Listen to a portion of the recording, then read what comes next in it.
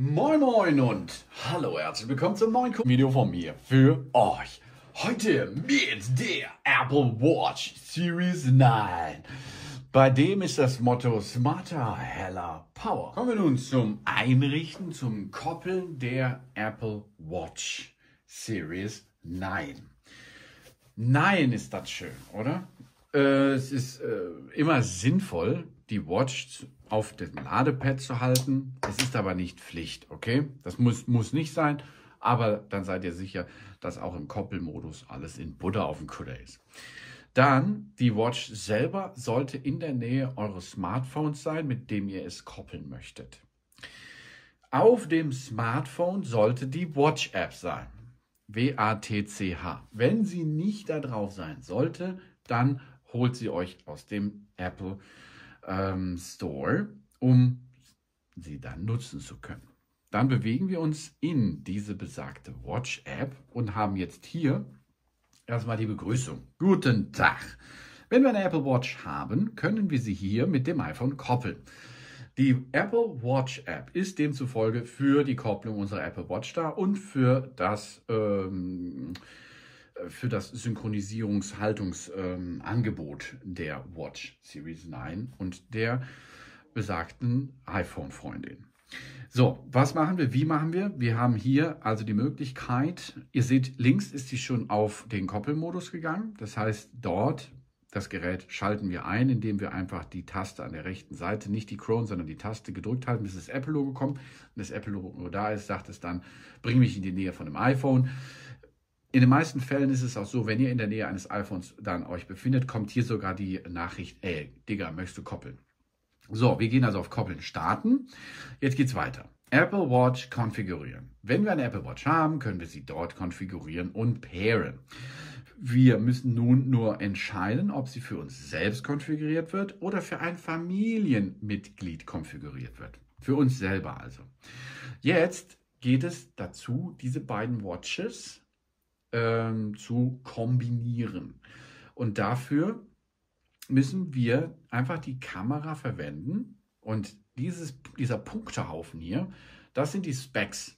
Also sprich, die, ähm, die ganzen Informationen, die diese Apple Watch Series 9 gerade so inne hat. Um die dann zu verheiraten, gehen wir einfach mit unserem Phone hin und werden diese dann äh, ähm, übereinander halten, abfotografieren, ne, also abfilmen, so einfach darüber, abfilmen, bis es zu einer Kopplung kommt. So, damit ist die Kopplung gestartet und die Apple Watch, seht ihr, wird jetzt synchronisiert und gekoppelt. Super, so einfach geht das. Dann gehen wir auf Apple Watch konfigurieren. Denn es gibt unterschiedliche Menschen, die unterschiedliche Vorlieben haben, ob sie Rechts- oder Linksträger sind. Da geht es darum, die Handgelenkeinstellung zu währen. Wir können Links- oder Rechtsträger sein. Ne? Rechts oder links, also sprich am linken Handgelenk oder am rechten Handgelenk. Habt gerade gesehen, an meinem linken Handgelenk befand sich eine Ultra, also bin ich wohl Linksträger. Fortfahren. Damit weiß dann schon mal das Bild da drinnen, auf welcher Seite sie getragen wird. Das ist natürlich auch sehr wichtig für die Gestensteuerung. Nun müssen wir auch bei solchen Geräten, die an unserem Handgelenk getragen werden, allgemeine Geschäftsbedingungen akzeptieren. Wenn wir diese nicht akzeptieren, sondern ablehnen, dann ist die Verwendung dieses Gerätes natürlich äh, ja, so eingeschränkt, dass es gar nicht mehr möglich ist. Also akzeptieren wir vorher, lesen wir die AGBs durch und akzeptieren diese. Dann wird hier eine Anmeldung im Account erfolgen. Dies kann einen Moment dauern. Euer Account ist ja eure Apple ID, die auf dem iPhone, was hier rechts liegt, ja schon stattgefunden hat. Und nun werden die Daten ausgetauscht, sprich die, ähm, die, die, die Watch wird hiermit so konfiguriert, dass sie sozusagen das kleine Pardon unserer großen ähm, Apple iPhone-Geschichte hier ausmacht. Denn ich habe hier ein GPS-Modell. Diese beiden benötigen nämlich sich gegenseitig. Auch bei der Cellular-Version braucht ihr ein iPhone, weil die sich ja auch gegenseitig benötigen, um Daten auszutauschen. Die Health-App, die, Lo äh, die Location-App und so ein Zeugs und so ein Zeugs. Und bei mir ist es so, dass diese Uhr ja natürlich auch dann die Wi-Fi-Funktion übernimmt. Apple Watch Code. Wenn ein Code eingestellt ist, wird die Apple Watch gesperrt. Sobald die abgenommen wird von unserem Handgelenk und ähm, kann erst wieder entsperrt werden, wenn wir diesen Code haben und dann würde sie wieder funktionieren. Sicher solltet ihr einen Code dann darauf setzen, weil wenn die Watch FOT ist, könnte nämlich, wenn einer reinkommt, äh, das einer ja weiterverwenden, eure Apple Watch und eure eventuellen Daten hier drauf auslesen. Das wäre ja doof. Also geben wir einen Code. Diesen Code geben wir im Zahlencluster von unserer Watch ein. Ich habe jetzt einen ganz leichten genommen. Ihr nutzt bitte einen anderen, damit ich hier euch das leicht demonstrieren kann, habe ich jetzt einen sehr einfachen genommen. Ihr benutzt natürlich einen anderen. So, jetzt haben wir hier schon die Möglichkeit, die Größe des Textes auszuwählen. Guck mal, wenn ich den hier verändere auf meinem iPhone, verändert der sich auch auf der Apple Watch. Das heißt, hier könnt ihr das einstellen, was ihr gerne hättet. Ihr könnt auch einen fetten Text zum Beispiel machen oder nicht so fetten Text. Jetzt Geteilte Einstellungen sind halbe Einstellungen oder nicht? Geteiltes Einstellfreundchen. Die Apple Watch und das iPhone verwenden nämlich dieselben Einstellungen für Ortungsdienste, mein iPhone suchen, Siri sowie Analytics und Verbesserungen. Einige Ziffernblättern und Apps verwenden möglicherweise unsere Ortungsdaten, wenn die Ortungsdienste aktiviert sind. Die Fitness- und Health-Apps werden auf unserem iPhone dann geladen und ähm, vorbereitend können sie dann hiermit dann auch synchronisiert werden. So, jetzt geht es darum, Fitness und Health können wir personalisieren. Durch diese Information wird garantiert, dass die Daten der Apple, Apple Apps Fitness und Health so präzise wie möglich sein können. Deshalb sollten wir dort auch dann die Angaben korrekt eingeben. Das heißt, das Geburtsdatum, das Geschlecht, die Größe und das Gewicht. Ja, das kann man eingeben. 1,80 Meter hier bei mir. So und Gewicht war äh, 110 Kilo circa, etc. Na, das ist ja individuell bei euch auch dann so. Jetzt sind wir im Aktivitätensymbol. Die Aktivität-App hilft uns, weniger zu sitzen, uns mehr zu bewegen und ähm, Ziele zu erreichen, die wir festgelegt haben. Und diese können wir dann auch abrufen und immer sozusagen als unser Goal für den Tag setzen. Bei mir zum Beispiel ähm, ist das Goal, 12 Stunden stehen, äh, 30 Minuten worken jeden Tag und 900 Kilokalorien über meinem normalen äh, Haushalt zu verwenden. So, das heißt, wir können die Aktivität konfigurieren. Tägliches Bewegungsziel. Ne? Wir haben niedrig 440, mäßig ist 820 und hoch wäre 1200. Das heißt also, wenn ihr Postbote seid, dann solltet ihr 1200 nehmen. Und wenn ihr in einem nicht so aktiven Job seid, dann könnt ihr hier auf, auf mäßiges Niveau gehen. 800 bis 900 ist euch überlassen. Ihr könnt aber auch klein starten mit niedrig. Äh, und wenn ihr das dann jeden Tag überschreitet, merkt das der Algorithmus da drinnen und wird euch dann eine Erhöhung dieses Wertes vorschlagen. Das heißt, wir gehen jetzt hier mal mäßig ans Ziel. Wie viel wollen wir jeden Tag trainieren? Das ist auch ne, zum Beispiel schnelles Gehen, aktiv sein etc. Auch hier ist das individuell auf euch abgestimmt, wie ihr das möchtet. Fangt niedrig an, geht höher, geht wieder runter, geht höher, das könnt ihr einstellen. Und tägliches Stehziel. Es wird empfohlen, am Tag mindestens eine Minute pro Stunde aufzustehen und sich zu bewegen. Die zwölf Stunden pro Tag heißt nicht, dass wir zwölf Stunden am Stück stehen müssen, sondern, wie ich gerade sagte, ein paar Minuten mindestens, dann wird die gezählt. Das ist aber nicht nur eine Minute, das dauert schon ein bisschen länger. Und das könnt ihr hier auch erniedrigen oder erhöhen. Ich habe da bei mir als Beispiel zwölf Stunden eingestellt. Dann Trainingsroutenprotokoll. Äh, die Apple Watch App Training verwendet unseren Standort, um bei Outdoor-Training Routen und lokale Wetterinfos aufzuzeichnen. Das hilft ungemein natürlich auch der Community. Müsst ihr wissen, ob ihr dieses Protokoll aktiviert oder deaktiviert haltet. Dann haben wir Mitteilungen über unsere Gesundheit. Geräusche finde ich sehr sinnvoll bei sehr lauten Geräuschen warnt uns nämlich die App, sprich die äh, Apple Watch Series 9, dann an, dass wir an einem Ort sind, wo es zu laut ist. Cardio-Fitness. Wir erhalten Mitteilungen, wenn unser Cardio-Fitness dann richtig oder zu niedrig ist. Oder eine niedrige Herzfrequenz oder eine hohe Herzfrequenz. Ich denke mal, ihr solltet alles eingeschaltet halten. Und nehmen wir Medikamente ein, dann sollten wir hier auswählen, welche es sind. Ne? Zum Beispiel Calcium-Kanalblocker oder Beta-Blocker zum Beispiel. Das sind die Einschätzung für die Cardio-Fitness, können nämlich bestimmte Herzmedikamente beeinflussen und deshalb ist es auch wichtig, hier richtige Angaben zu machen. Sicherheit. Die Apple Watch als Hilfe in Notfällen. Notruf SOS-Funktion. Dann haben wir Kurz, äh, Sturzerkennung, Unfallerkennung, sehr wichtige und tolle Features, die diese Apple Watch uns auch den Ass retten können, wenn mal was passiert. Finde ich, oder nicht?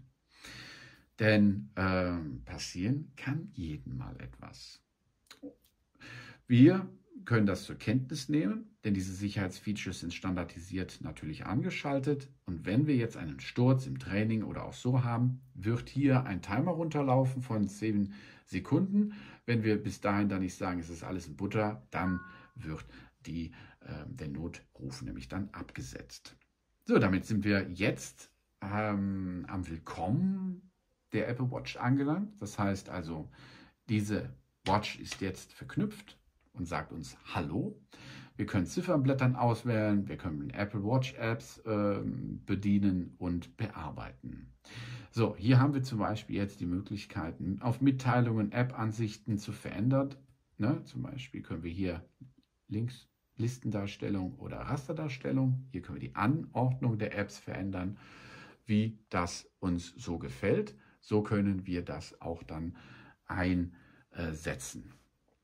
Dann gibt es die Möglichkeit, allgemeine Einstellungen, die Helligkeit zum Beispiel noch zu setzen, die Textgröße, die Helligkeit zu verändern, wie sie äh, an- und ausgeschaltet werden soll. Bedienungshilfen, Siri kann auch damit oder ist damit gekoppelt. Den Code können wir ändern, die Töne, die Haptik können wir verändern, den Datenschutz etc.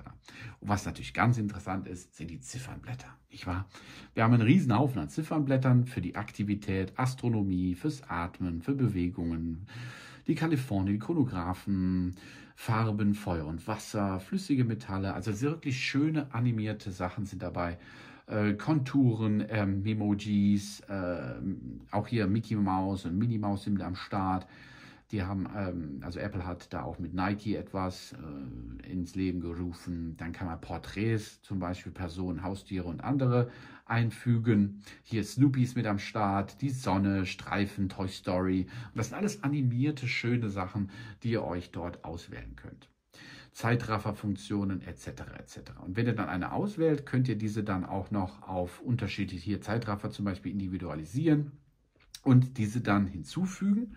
Und wenn ihr die hinzugefügt habt, werden diese dann auch zur Apple Watch, Apple Watch hinzugefügt und können dort nämlich dann ähm, ausgewählt und nochmal individualisiert werden. Ja, und dann sind wir hier, kommen wir rein mit unserem Code und starten unsere Apple Watch. Kommen wir nun zur Verwendung unserer Apple Watch Series 9. Um sie überhaupt verwenden zu können, müssen wir sie natürlich anlegen. Denn ansonsten ist das nervig, wisst ihr. Natürlich könnt ihr sie entsperren, aber dann, dann ist sie eingeschränkt nur zu nutzen. Also ein bisschen nervig deshalb. Ne? Also wir packen die jetzt mal kurz in unser Handgelenk und dazu bewegen wir die Apple Watch mit den Sensoren über unseren Handrücken, der hier sich befindet, und hier ist unser Arm. Hier ist unser Gelenk und dahinter packen wir unsere Apple Watch. Jetzt lassen wir sie einmal um das Handgelenk herumlaufen und dann rasten wir sie ein. In diesem Fall ist es ein Silikonarmband, das heißt, wir haben hier so einen Bolzen, der dann einfach eingeklickt wird. Und der Rest wird dann einfach hier drunter gesetzt und hält es dann in Position. So, und dann haben wir schon, wie ihr gerade gesehen habt, wenn ich sie verdecke, geht sie aus.